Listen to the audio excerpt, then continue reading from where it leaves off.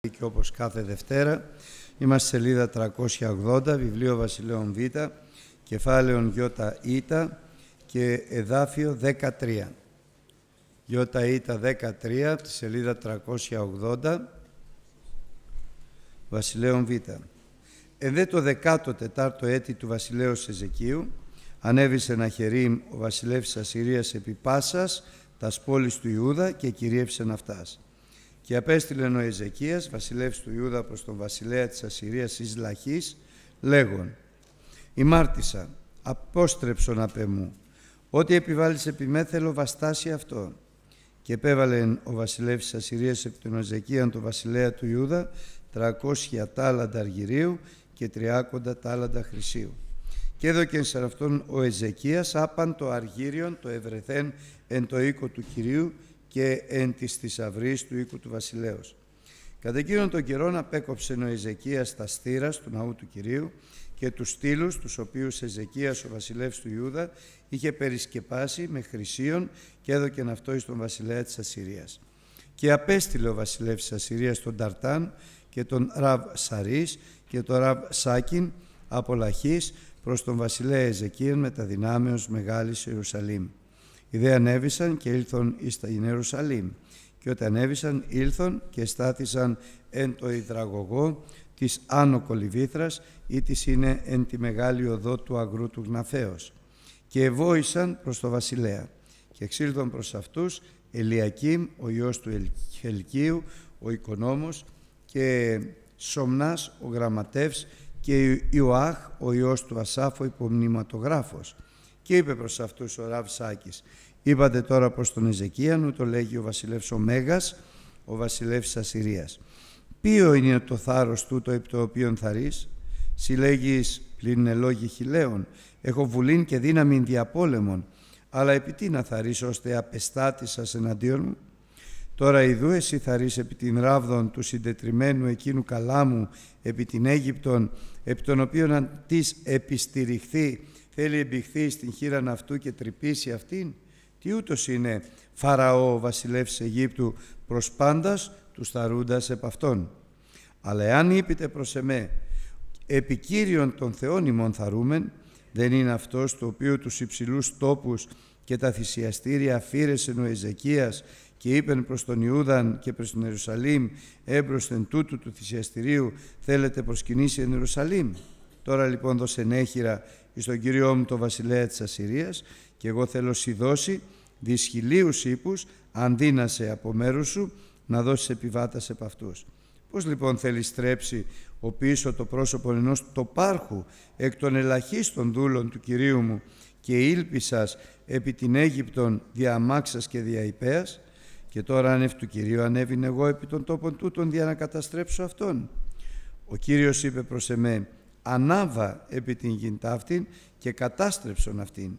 Τότε είπεν Ελιακήμ, ο ιός του Χελκίου, και Σομνάς και Ιωάχ προς Ραυσάκην, λάλησον παρακαλώ προς τους δούλους σου, εις την Συριακήν γλώσσαν, διότι καταλαμβάνομεν αυτήν, και μη λάλη προς εμάς Ιουδαϊστή, εις επίκον των λαών επί του τείχους.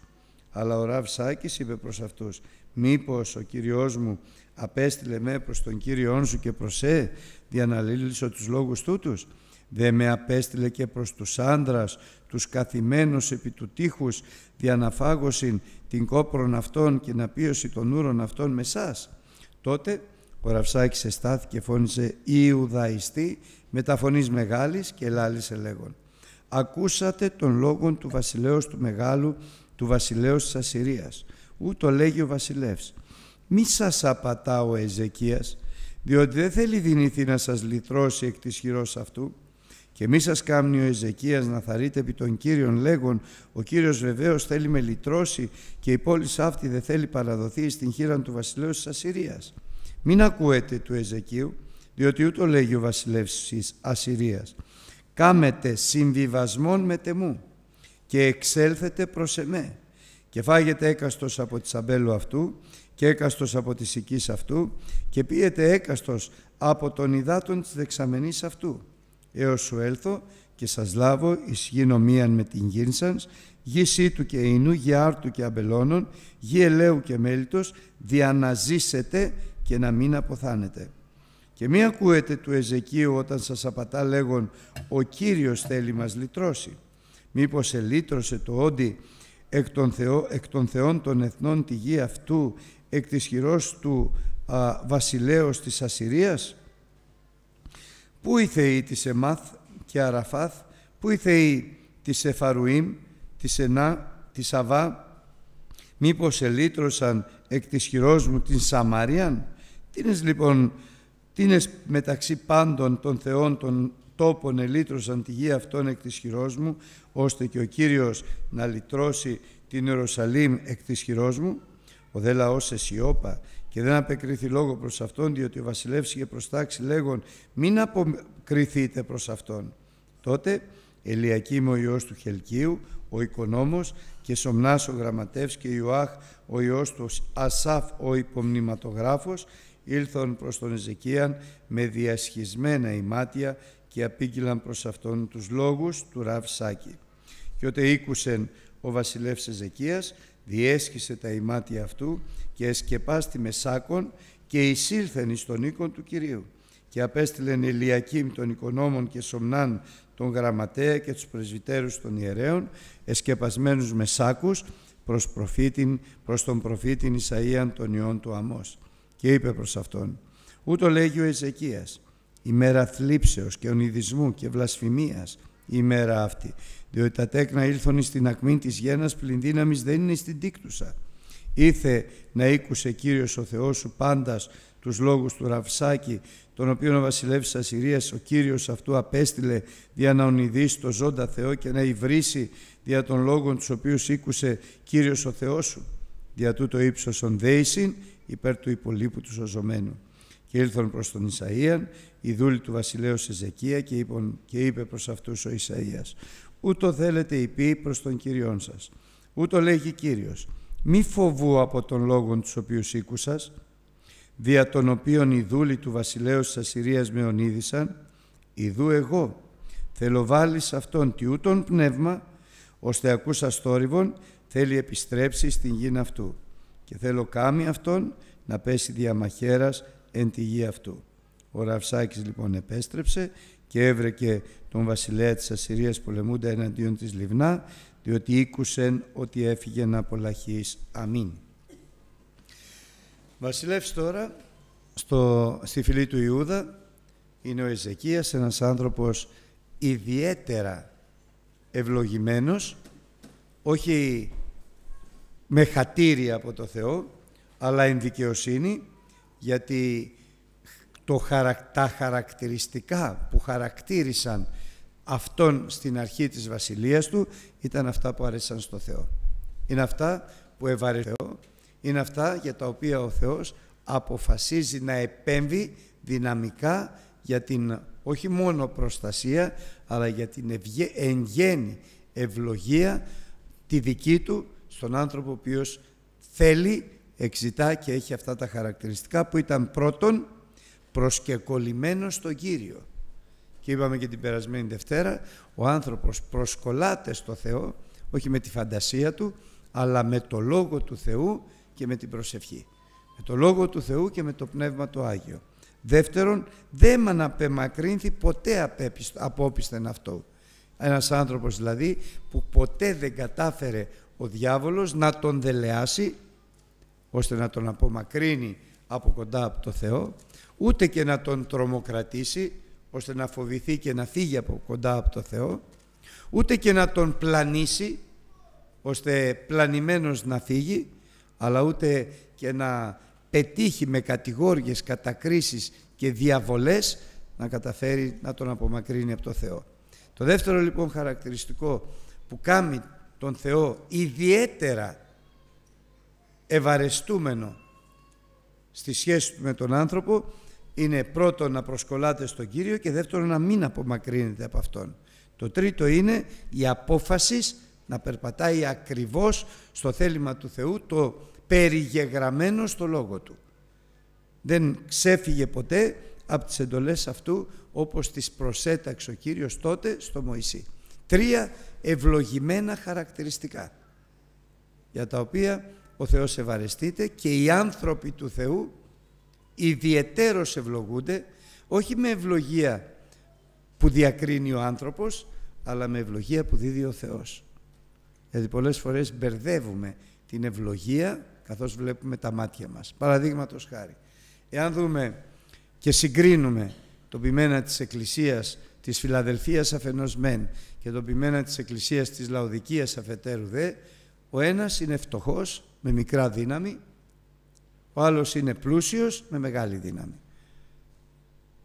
Θα έλεγα ακόμη περισσότερο, φτωχός με μια μικρή εκκλησία, ο άλλος πλούσιος με μια μεγάλη εκκλησία. Ποιον θα λέγαμε, για ποιον θα λέγαμε ότι ο Θεός ευλόγησε; Ποιος θα νομίζαμε ότι είναι ευλογημένος; Τελείως διαφορετικά από τον τρόπο που βλέπει ο Θεός. Για μεν τον πλούσιο και δυνατό βλέπει ο Θεός χλιαρότητα και αυτό το οποίο έπεται στη ζωή του είναι να τον εξεμέσει όπως ομολογεί ο Χριστός μία εκβολή βιαία και με βδελιγμία από το σώμα του προερχόμενη από τον Χριστό. Για τον δε άλλον που έχει μικρά δύναμη ο Θεός έχει θέσει μπροστά του θύρα νεωγμένη ευλογίας που κανείς δεν μπορεί να κλείσει γιατί αν και έχει μικρά δύναμη έχει ωραία χαρακτηριστικά εφύλαξε το Λόγο του Θεού και δεν αρνήθηκε το όνομα του Κυρίου η ευλογία του Θεού δεν είναι στην κρίση και στην άποψη και στη γνώμη τη δική μας γιατί θα κάνουμε λάθος. Η ευλογία του Θεού είναι στην κρίση του Θεού και στην καρποφορία που ο Θεός προσφέρει.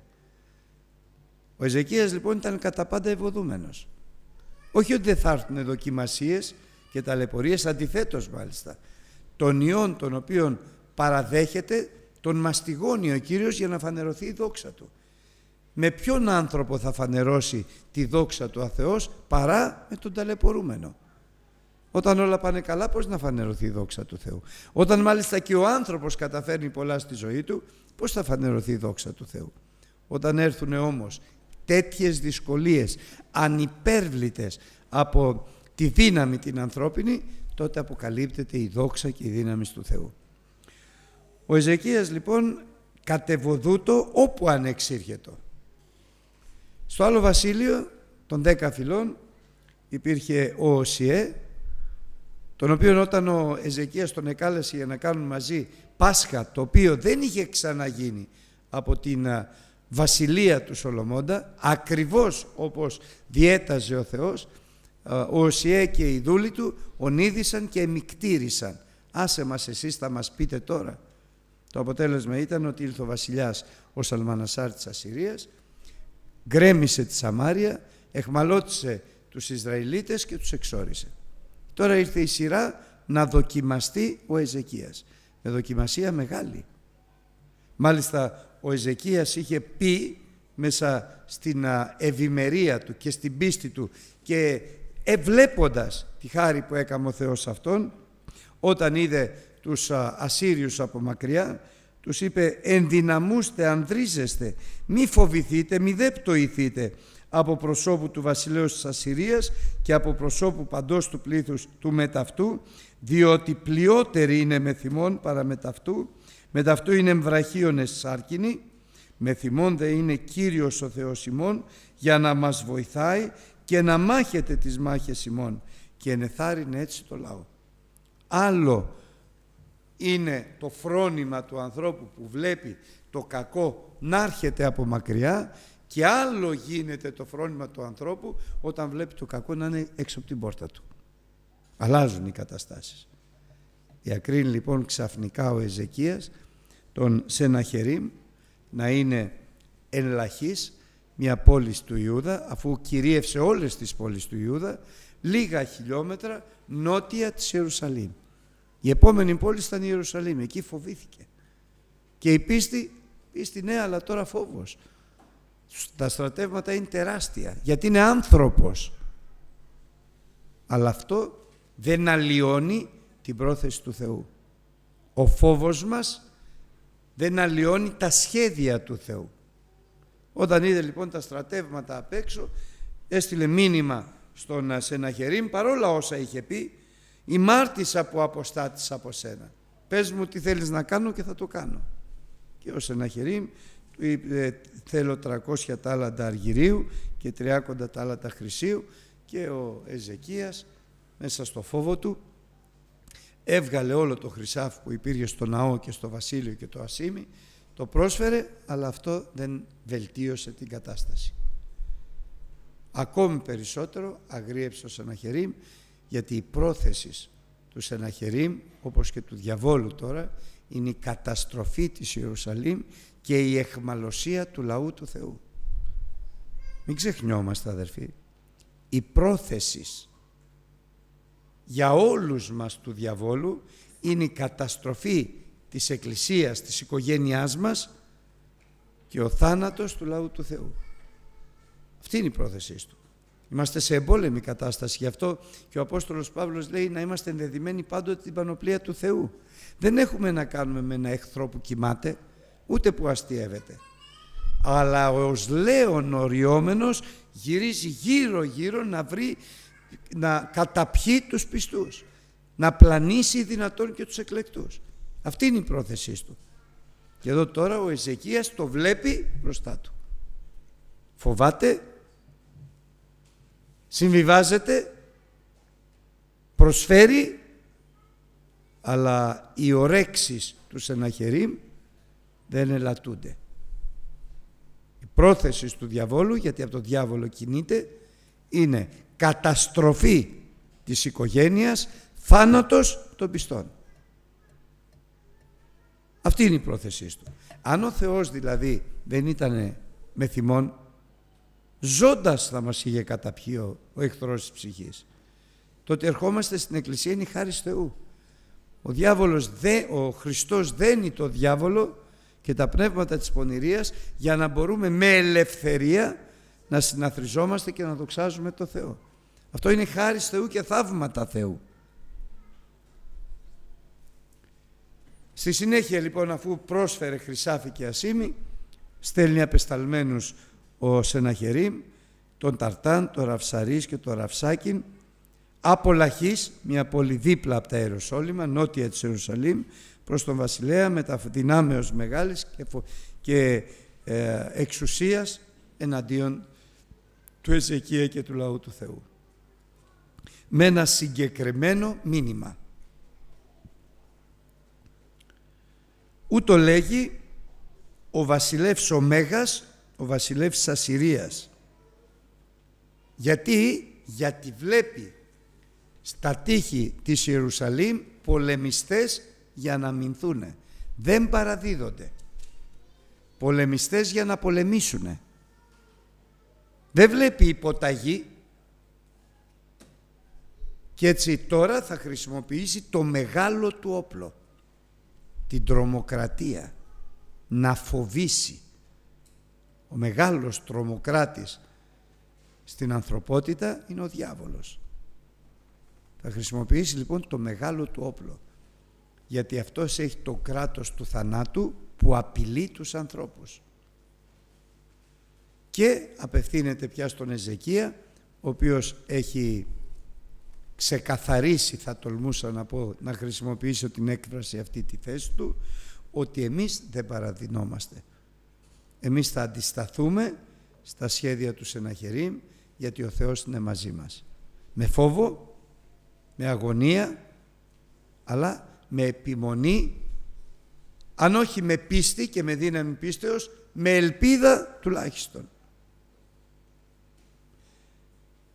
Η απειλή λοιπόν είναι μεγάλη και απευθύνεται στον Ηλιακήμ, στον Σομνάς και στον Ιωάχ, τους δούλους του Εζεκία οι οποίοι, τους, οι οποίοι απάντησαν στην πρόσκλησή του να ακούσουν τα λόγια τους, τα λόγια των απεσταλμένων τους Σεναχερίμ. Λέγοντας ποιο είναι το θάρρος το οποίο θαρείς απευθυνόμενος στον Εζεκία; Μήπως θαρείς στην Αίγυπτο και στο Φαραώ και πιστεύεις ότι μπορεί να σε βοηθήσει εναντίον μου; Δεν είχε τέτοια πρόθεση ο Εζεκίας, άλλο είχε πει. Ή μήπως ο Εζεκίας θαρεί στον Κύριο και πιστεύει ότι ο Θεός θα τον βοηθήσει και θα τον ελευθερώσει από τα χέρια του σε ένα χερίμ. Και έχει και επιχειρήματα. Ο Εζεκίας δεν είναι που κατέστρεψε τους βωμούς, όλα τα άλση μέσα στο ζήλο του για ορθοτόμηση του Λόγου του Θεού. Αυτός δεν είναι που κατέστρεψε όλους τους ιερούς τόπους μέσα από τους οποίους λατρεύονταν σε παράβαση λατρεύονταν ο Θεός. Ποιος Θεός λοιπόν θα σας βοηθήσει; Μίλαγαν δε ο Ραυσάκης στα εβραϊκά και σκέφτηκε ο Ηλιακήμ ότι καλό θα ήταν να μην μιλάει στα εβραϊκά για να μην ακούν οι στρατιώτες, οι, στρατώτε, οι πολεμιστές και δηλιάσουν. Και του το είπε, αλλά βεβαίως δεν τον άκουγε ο Ραυσάκης και απευθύνεται τώρα προς όλο το λαό. Είναι συγκεκριμένη η μέθοδη του διαβόλου, αδερφοί. Γι' αυτό και ο Απόστολος Παύλος λέει δεν θέλω να αγνοείτε τις μεθοδίες του εχθρού. Τέσ, με τέσσερις βασικούς τρόπους απευθύνεται στους ανθρώπους. Ο πιο σκληρός είναι η τρομοκρατία, η απειλή, ο φόβος και μάλιστα ο φόβος του θανάτου. Στη συνέχεια είναι δελεασμός, πρόκληση, να σε καταφέρει να σε πείσει για τη γη την μακράν πόσο όμορφη είναι. Έπειτα είναι διαβολεύς, κατήγορος, να φέρει διχασμό, διχοστασία. Κατηγορείς τον Θεό τους ανθρώπους και τους ανθρώπους τον Θεό. Κατηγορείς τον έναν αδελφό τον άλλον αδελφό. Γιατί ξέρει όταν είναι όλο μαζί το πίμνιον του Θεού είναι πανίσχυρο. Γιατί υπάρχει ο καλός ο ποιμένας. Αν καταφέρει να απομακρύνει κάποιους, να τους αποξενώσει και να τους απομακρύνει και να τους απομονώσει, τότε θα καταφέρει να τους καταφάει. Με δελεασμό. Ύστερα με πλάνη. Ψέματα σας λέει ο Θεός. Θυμάστε τι είπε στην Εύα. Ψέματα σας λέει ο Θεός. Την πλησίασε πολύ γλυκά και της είπε πραγματικά ο Θεός είπε να μην φάτε από κανένα δέντρο, καρπό, κανενός δέντρου. Και η Εύα λέει όχι, μόνο από το δέντρο της γνώσεως του καλού και του κακού μας είπε ο Θεός να μην φάει, να μην φάμε. Ψέματα λέει. Γιατί η Εύα λέει αν φάμε θα πεθάνουμε μας είπε ο Θεός. Όχι, δεν θα πεθάνετε. Θα γίνετε σοφοί. Όμοιοι με τον Θεό. Και η Εύα πλανήθηκε, δελεάστηκε. Και πώς δελεάστηκε; Κοίταξε τον καρπό πρώτον και λέει νόστιμος θα είναι. Αρεστώσεις στους οφθαλμούς και ως δίδων γνώση. Επιθυμία της αρκός. Όπου τι νόστιμος θα είναι επιθυμία των οφθαλμών, ωραίος είναι και η επιθυμία του πνεύματος δίνει και σοφία και γνώση και άρπαξε και το έφαγε. Την πλάνησε εντελώς. Αυτό που προσπαθεί δηλαδή ο διάβολος τρίτον όπως είπαμε είναι να πλανήσει τους ανθρώπους να τους κάνει να απομακρυνθούν από την απλότητα την των Χριστών Ιησούν. Και τέταρτον, διχοστασία. Να χωρίσει τον άντρα από τη γυναίκα. Κλασικό. Αυτό είναι το κλασικό, να καταστρέψει την οικογένεια. Βάζει κατηγόριες, υπόνοιες, γνώσ, ε, ε, ε, βέλη πεπειρωμένα στην καρδιά της γυναίκας για τον άντρα και αντίστροφα. Να καταφέρει να φέρει χώρισμα. Αν φέρει χώρισμα νίκησε. Τα μπορεί τον έναν και τον άλλον να τους πάρει και θα γαλάσουν οι καρδιές, θα δώσουν τόπο στο διάβολο, θα νικηθούν. Τώρα χρησιμοποιεί εδώ θα χρησιμοποιήσει εδώ ο διάβολος μέσα από το ραυσάκι το ισχυρότερο του όπλο, την τρομοκρατία της πείνας και τέλος του θανάτου. Λέει βεβαίως λέει μέστηλε, λέει ο Ραυσάκης, ο βασιλιάς, ο Σεναχερίμ, όχι μόνο για σας, αλλά και για το λαό, οι οποίοι είναι πάνω στο, στο τείχος για τους πολεμιστές, που αν μείνουν εκεί μετά την πολιορχία που θα γίνει θα φάγωσιν την κόπρον αυτών και θα πίωση των ούρων αυτών μαζί με εσάς. Εκεί θα καταντήσουν, γι' αυτό με έστειλε. Όμως, απευθυνόμενος πια στους πολεμιστές, μη σας πείσει ο βασιλιάς ότι ο Κύριος τάχα θα σας ελευθερώσει. Ποιον ελευθέρωσε, ποιος Θεός, ποιον λαόν ελευθέρωσε όλους αυτούς που κατέστρεψα. Δεν τους κατέστρεψα Γιατί ο Θεός με απέστειλε. Δεν τους κατέστρεψα γιατί ο Θεός μου είπε. Και ποιος Θεός μπόρεσε να αντισταθεί στο Σεναχερίμ; Υπάρχει κανένας που μπορεί να αντισταθεί στο διάβολο και στις δυνάμεις του; Κανένας. Κανένας. Άνθρωπος. Εκτός από αυτόν που μάχεται μαζί του ο Κύριος όλων των δυνάμεων. Ο Θεός του ουρανού και της γης. Και τώρα πιάνει το δεύτερο πειρασμό του. Μη τους ακούτε, κάντε συμβιβασμό με μας. Φοβερό, φοβερή πανουργία. Πανούργος φοβερός. Δεν βλέπεις το κακό που έρχεται, συμβιβάσου με μένα. Και αυτός ο συμβιβασμός αδερφοί είναι από τα πιο συνηθισμένα κόλπα του διαβόλου που με τα βέλη του χτυπάει την καρδιά των πιστών. Έχει πρόβλημα στη δουλειά, συμβιβάσουμε αυτούς, δεν πειράζει. Μην είσαι τόσο απόλυτος στο Λόγο του Θεού. Τι θέλει να καταφέρει ο διάβολος; Με το συμβιβασμό. Να σε βγάλει από τη στενή πύλη και την τεθλιμμένη οδό και να σε φέρει στην, ευρύ, στην φαρδιά πύλη και στην ευρύ χωριοδό και εύκολα θα σε οδηγήσει στην απώλεια. Συμβιβάσου. Μην είσαι και τόσο με το Λόγο του Θεού. Μην είσαι τόσο αυστηρός, μην είσαι τόσο απόλυτος. Κάνε ένα βήμα αριστερότερα προς τη φαρδιά πύλη. Κάνε λίγη υποχώρηση, λίγο βρε παιδί μου.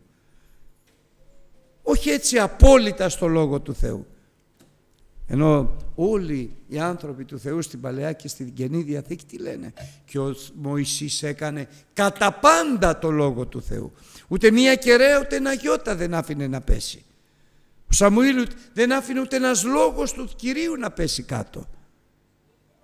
Ο Απόστολος Παύλος ακόμη πιο ζηλωτής. Μιμητέ μου γίνεστε καθώς εγώ του Ιησού Χριστού. Δεν μιμούμε πια, δεν κάνω ό,τι θέλω, δεν μιμούμε ανθρώπους, αλλά το πρότυπό μου είναι ο Ιησούς Χριστός, αυτόν θέλω να μοιάσω. Φοβερό αδερφοί η μίμησης του ανθρώπου προς τον Χριστό. Κάνε λίγο συμβιβασμό τώρα και εγώ έχω καλά σχέδια. Θα πάει καλύτερα η ζωή σου. Κάνε κάποιες υποχωρήσεις, καλύτερα θα πάνε τα πράγματα. Αυτά είναι τα ψέματα του διαβόλου. Όχι αδερφοί. Μη μας πλανήσει ποτέ ο διάβολος, ούτε στη δουλειά μας, ούτε στη συγγένειά μας, ούτε στη ζωή μας, ούτε στην οικογένειά μας, ούτε στην εκκλησία.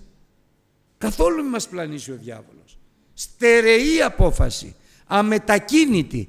Θα περπατάμε ακριβώς, μη ως άσοφοι, αλλά ως σοφοί, γνωρίζοντας ότι οι μέρες είναι πονηρές και ο Κύριος έρχεται ταχαίως. Μην αφήσουμε καμία φωνή ψευδούς να μας φτιάξουν λίγο πιο όμορφη τη στενή πύλη, λίγο πιο φαρδιά και πιο καθαρή, πιο εύκολη την τεθλιμμένη οδό. Είναι ψεύτης. Δεν θέλει το καλό σου, την καταστροφή σου θέλει.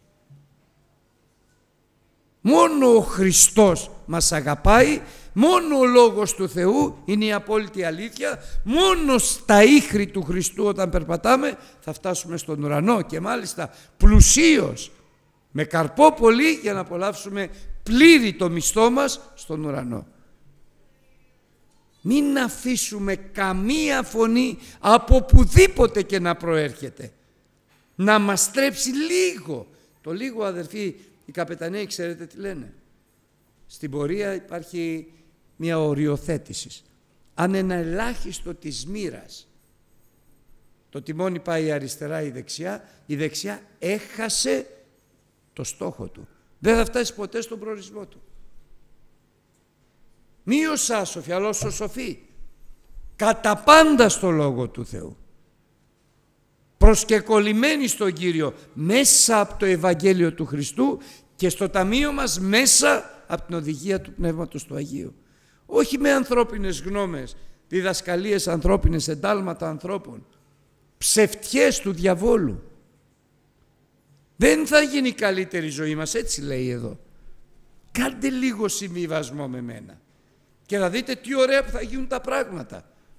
Και αμέσως όμως εκφράζει και την πρόθεσή του.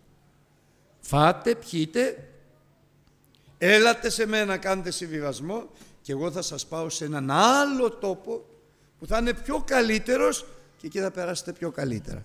Δεν ανάγκη τώρα κάθε μέρα εκκλησία. Μα τι, τι φανατισμός είναι αυτός, έτσι μου λέγανε εμένα. Καλά δεν λυπάσαι τα παιδιά σου. Τι φανατισμός είναι αυτός. Δεν πας να ξεκουραστείς και λίγο, δεν πας διακοπές, δεν πας να διασκεδάσεις λίγο. Τόσο, τόσο εκεί πέρα σε έχουν δέσει. Τι σου δίνουν και τρως και πίνεις και στάχουν και σε έχουν καταφέρει να γίνεις έτσι. Και έλεγα μέσα μου έχουν δώσει να τρώω το σώμα του Χριστού και να πίνω το αίμα του Χριστού. Αυτά μου έχουν δώσει. Και αδερφοί με 30 χρόνια στο Χριστό ποτέ δεν το μετάνιωσα. Ποτέ δεν το μετάνιωσα. Ξέρετε πότε μετάνιωσα; Όταν έκανα κάποια βηματάκια, σπάνια μερικές φορές δεξιά ή αριστερά. Όσο περπατούσα ακριβώς το Λόγο του Θεού, με τη χάρη του Χριστού και τη δύναμη του Πνεύματος του Αγίου, η ζωή μου πήγαινε από το καλό στο καλύτερο. Όταν έκανα λίγο πίσω, όταν έβλεπα κανένα DVD, όταν έλεγα θα πάω και σε κανένα κινηματογράφο, χανότανε η παρουσία του Θεού. Και το λέγαμε με την Άννα, άντε να ξαναρχίσουμε από την αρχή. Όταν έμπαινε στο σπίτι μου κάτι που δεν ήταν πράγμα του Θεού, απ, χανότανε η νεφέλη. Και έλεγε Άννα, έλα να κάνουμε καθαρισμό. Βέβαια άνθρωποι είμαστε. Λάθη κάνουμε.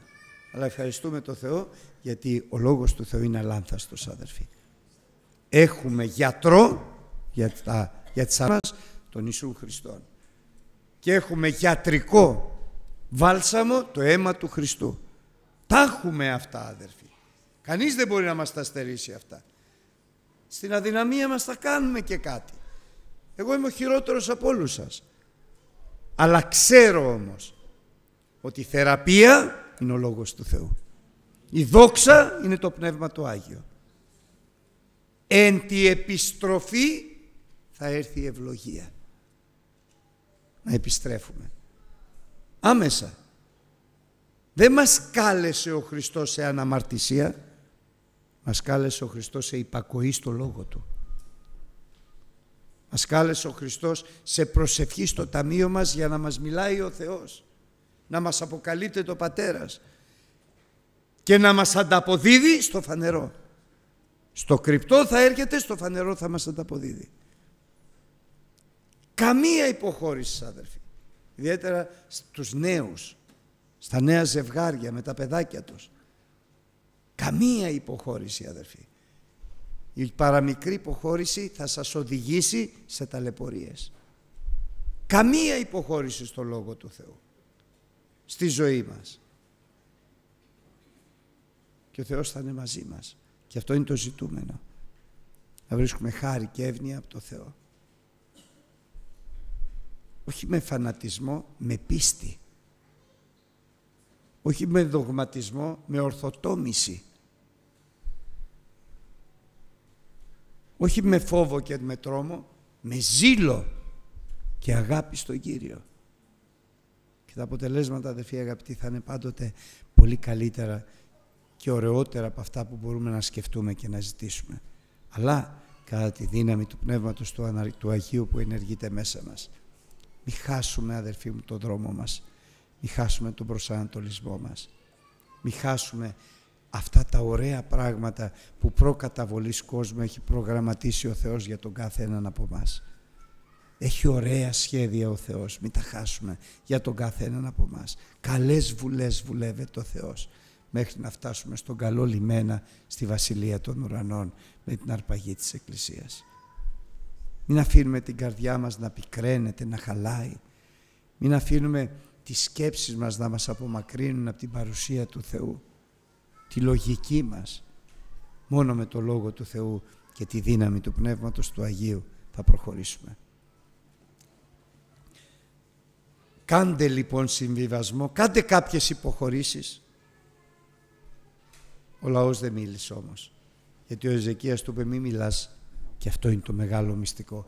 Όταν μιλάει ο διάβολος μη μιλάς εσύ. Όταν σε προκαλεί, σε φοβίζει, σε τρομοκρατεί μη μιλάς. αλλά να προσεύχεσαι. Να ζητάς το αίμα του Χριστού.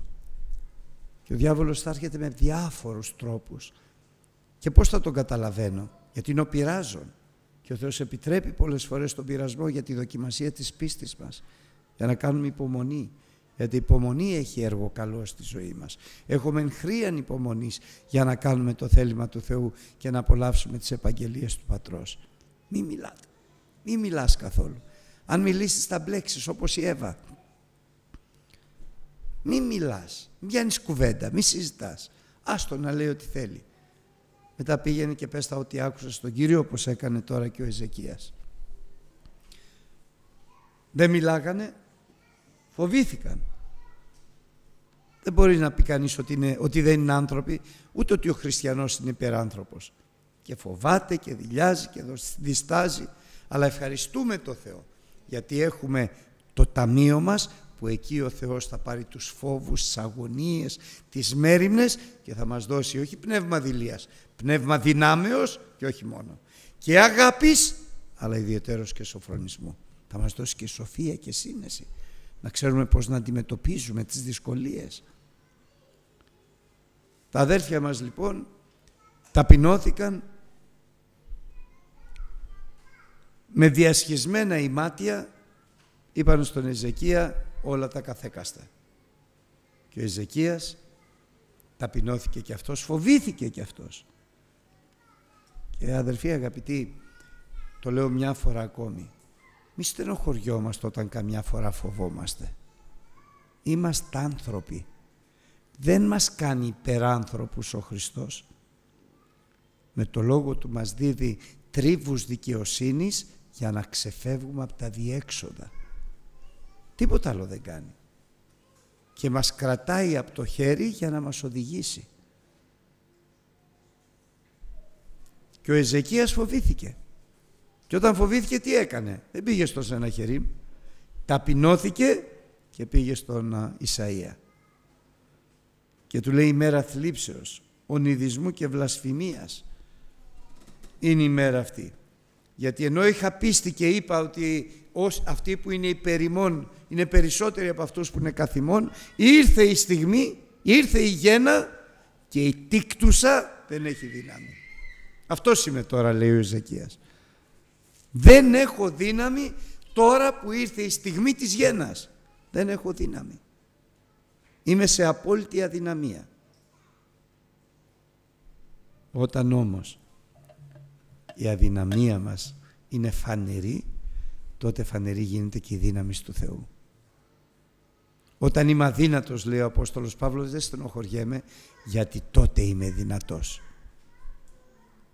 Όταν μάλιστα η αδυναμία μου γίνει πλήρης, τότε η δύναμη του Θεού αποκαλύπτεται στη ζωή μας τελεία.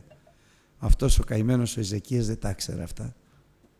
Δεν υπήρχε η Καινή Διαθήκη, τα λόγια του Παύλου. Φοβήθηκε και ο Θεός θα τον ενισχύσει. Αυτός είναι ο Θεός. Στο φόβο του, στην αδυναμία του, θα έρθει ο Λόγος του Θεού που θα του δώσει δύναμη. Μη φοβάσαι, είπε ο, ο Ισαΐας, αλλά εν το ονόματι του Κυρίου. Ούτω λέγει Κύριος, μη φοβάσαι από τον λόγο τον οποίον ήκουσας, δια των οποίων οι δούλοι του βασιλέως της Ασσυρίας ονίδησαν εμένα, όχι εσένα. Έχω σχέδιο. Αυτό είναι το μυστικό.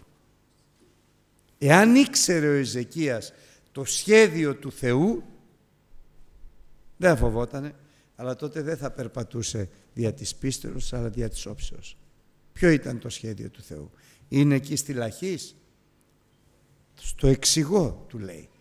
Θα βάλω στον Σεναχερίμ τέτοιο πνεύμα δηλίας ώστε μόλις ακούσει θόρυβο θα επιστρέψει στη γη του. Και στο τέλος εκεί στη γη του εγώ θα κάνω αυτό να πέσει διαμαχαίρασεν τη γη αυτού. Του είπε την αρχή και το τέλος. Έχει σχέδιο ο Θεός. Ο Εζεκίας δεν το ξέρει. Γι' αυτό φοβάται. Έχει σχέδιο ο Θεός για τον Εζεκία πολύ περισσότερο για τον κάθε έναν από εμάς. γιατί; Γιατί ο Εζεκίας ήταν της καινής της Παλαιάς Διαθήκης εσύ είσαι παιδί του Θεού. Έχει σχέδιο. Γι' αυτό λέει ο Λόγος του Θεού μη φοβούμενο πίστευε. Μη χάσεις με το φόβο σου το σχέδιο του Θεού.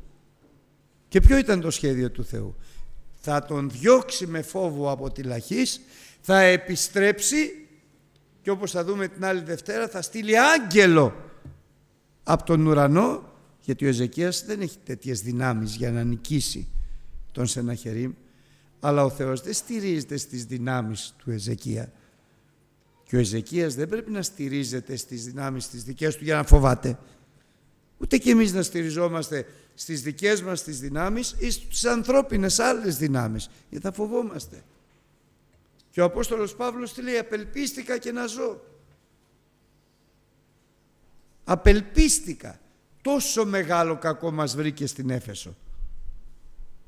Αλλά ο Θεός το επέτρεψε για να πάρουμε την απόφαση του θανάτου να μην ελπίζουμε πια στις δυνάμεις μας αλλά στον Θεό τον εγείροντα τους νεκρούς. Και δεν του λέει όλο το μυστικό και όλο το σχέδιό του ο Θεός γιατί θέλει να περπατάει δια της πίστεως. Σήμερα λοιπόν αδελφοί αγαπητοί να βάλουμε καλά στο μυαλό μας όποιες και αν είναι οι συνθήκες που βρισκόμαστε σήμερα Ας ξέρουμε ότι ο Θεός για τον κάθε έναν από εμάς έχει ένα σχέδιο ιδιαίτερης ευλογίας, δόξας και θριάμβου. Με μία προϋπόθεση. Να μείνουμε στο Λόγο του Θεού, εκεί που μας θέλει ο Θεός. Να μείνουμε στην οδηγία του Πνεύματος του Αγίου, εκεί που μας θέλει ο Θεός. Και όταν φοβόμαστε ακόμη περισσότερο. Και όταν είμαστε αδύναμοι, ελπίζονται στη δύναμη του Θεού. Και όταν είμαστε δυνατοί, ακόμη πιο προσεκτικά. Ε, φουσκώσει και η καρδιά μας και πούμε επλούτησα, είμαι πλούσιος και δεν έχω ανάγκη κανενός. Έχουμε όλοι μας ο ένας την ανάγκη του άλλου. Το ξέρετε, όλοι μας. Έχω την ανάγκη της προσευχής σου. Έχω την ανάγκη της παρηγοριάς σου, έχω την ανάγκη του να με στηρίζεις και να με ενισχύεις όπως και ο άλλος αδελφός έχει. Έχουμε, γιατί είμαστε ένα και πρέπει να είμαστε ένα. Αν εγώ δεν έχω ανάγκη κανέναν δεν είμαι μέσα στην ενότητα. Έχω βγει απ' έξω, εγώ δεν έχω κανένα ανάγκη. Βγήκα απ' έξω. Σας έχω ανάγκη. Όλους σας και κάθε έναν ξεχωριστά. Και όλοι μας έχουμε ανάγκη ο ένας τον άλλον. Ξέρετε γιατί; Γιατί είμαστε μέλη του ιδίου σώματος. Μπορεί να πει το χέρι δεν έχω ανάγκη το πόδι. Για να το πει να δούμε τι θα γίνει. Μπορεί να πει τα αυτή δεν έχει ανάγκη το μάτι. Μπορεί να πει τι θέλετε. Δεν έχω ανάγκη την καρδιά. Δεν έχω ανάγκη τα νεφρά. Μπορεί το χέρι μόνο του να κάνει ό,τι θέλει. Είναι αρρώστια αυτό. Αρρώστια. Έτσι και κανένας από μας δεν μπορεί μόνος του να κάνει ό,τι θέλει. Να αρρώστια. Γι' αυτό έχουμε ανάγκη ο ένας τον άλλον. Σε χρειάζομαι αδελφέ μου και αδελφοί μου. Πρέπει και εσύ να καταλάβεις ότι και εσύ με χρειάζεσαι και μας χρειάζεσαι. Χρειαζόμαστε ο ένας τον άλλον. Γιατί είμαστε ένα σώμα. Το σώμα του Χριστού. Και είμαστε και ένα πνεύμα. Το πνεύμα του Χριστού. Και αν καταφέρουμε να γίνουμε και μιας γλώσσης και μιας φωνής της γλώσσας του Λόγου του Θεού και της φωνής του Πνεύματος του Αγίου, ό,τι αποφασίζουμε ο Θεός θα το κάνει. Και κανείς δεν μπορεί να μας εμποδίσει. Όλα του τα είπε ο Θεός του Εζεκία. Τίποτα δεν κατάλαβε ο Εζεκίας. Γιατί είναι άνθρωπος φοβισμένος. Εμείς όμως που ξέρουμε το μέλλον τα καταλάβαμε. Αλλά θα έρθει η στιγμή που θα γίνεις και εσύ σαν τον Εζεκία. Θα σου λέει για τα ωραία σχέδια που έχει ο Θεός για σένα και σένα θα χτυπάει η καρδιά σου από το φόβο σου, από την αγωνία σου, από την ανησυχία σου. Έχει καλές βουλές ο Θεός. Καλές βουλές βουλεύετε αδερφοί μου. Τώρα σας τα λέω εύκολα γιατί είμαι εδώ πάνω. Όταν θα βρεθώ κι εγώ στο τείχος, τότε θα λέω πω πω πω πω πω, βόηθα Χριστέ μου, βόηθα. Έτσι είμαστε εμείς οι άνθρωποι. Αλλά από εδώ πάνω έτσι πρέπει να λέμε. το Λόγο του Θεού. Και όλοι να τον ακούμε και εσείς και εγώ. Καλές βουλές βουλεύεται ο Θεός. Δεν θα το ξεχάσω ποτέ στη ζωή μου. Αυτό που έγινε πριν τρεις μέρες, τέσσερις. Προσευχόμουν ώρες και το πρωί απέκαμα και είπα «Κύριε και τώρα τι να κάνω» και ακούω τη φωνή του Κυρίου. Να με δοξάζεις γιατί θα κάνω μεγαλεία το δοξάζουμε αδερφοί αμήν. Σε όλους μας θα κάνει μεγαλεία. Μην κοιτάς που δεν το βλέπεις. Δεν το βλέπεις γιατί έχεις τέτοια μάτια. Ο Θεός θέλει να μας δώσει όμως άλλα μάτια ο Θεός. Μάτια πίστεως μάτια Πνεύματος Αγίου να βλέπουμε μέσα από το Λόγο του Θεού τη δόξα που έρχεται. Όχι το κακό που έρχεται το κακό θα έρθει και θα περάσει. Αν είμαι κρυμμένος πίσω από το σταυρό του Γολγοθά. Εγώ θέλω τη δόξα να βλέπω που έρχεται και να μείνω στη δόξα και να μείνει και η δόξα κοντά μου. Αμήν. Ω Κύριε πόσο σ' αγαπάμε Χριστέ